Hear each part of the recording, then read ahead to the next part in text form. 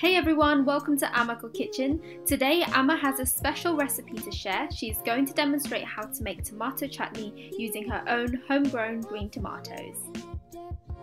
And with that being said, we will need 400 grams of green tomatoes. To add some flavour, we have 10 cloves of garlic, salt as per your preference, 1 3rd teaspoon of turmeric powder, 1 teaspoon of panchphoron, 3 dried red chilies and 1 teaspoon of paprika powder. 15 grams of tamarind, but today Ama is using lapsi as an alternative. 30 grams of jaggery or sugar.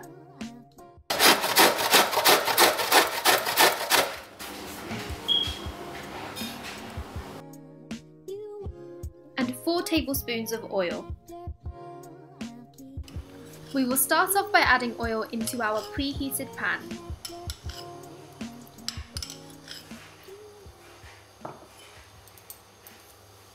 Next, add the panchphoron and let it fry for a little bit.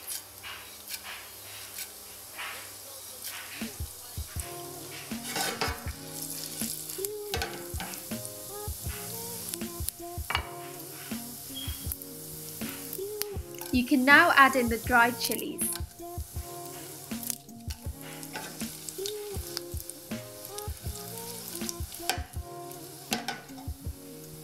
Then throw in the garlic, make sure to chop them into smaller pieces beforehand.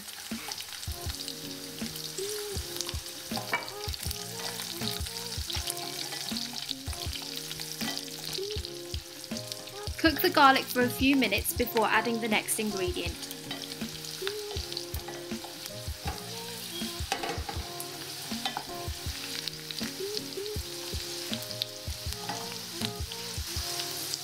After a few minutes of cooking the garlic, add in the turmeric.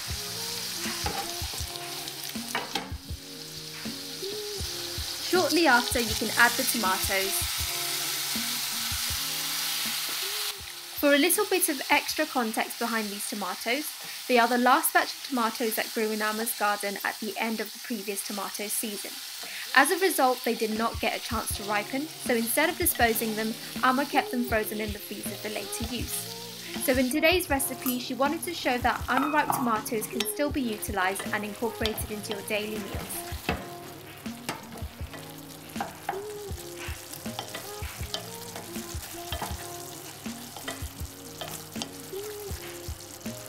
After cooking the tomatoes for a few minutes, add the tamarind or in our case lapsi and stir.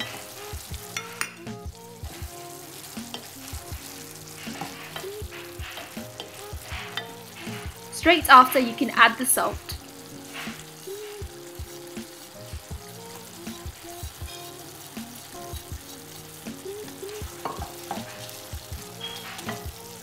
Then stir again.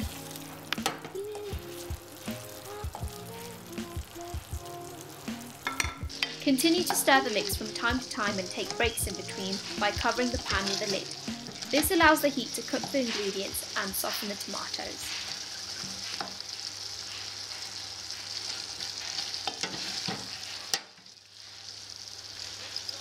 The jaggery. This can be substituted with sugar.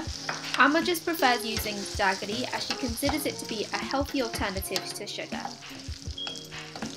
You can skip this part if you prefer not to have any sweetness in your chutney. Lastly, add in the paprika powder and stir it into the mix.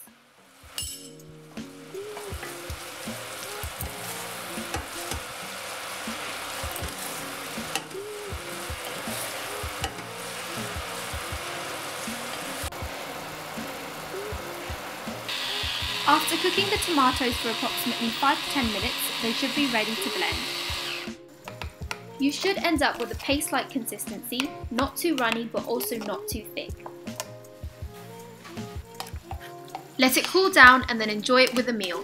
This chutney is sweet, sour and a tiny bit spicy and it goes along well with chapati, parathas and rice.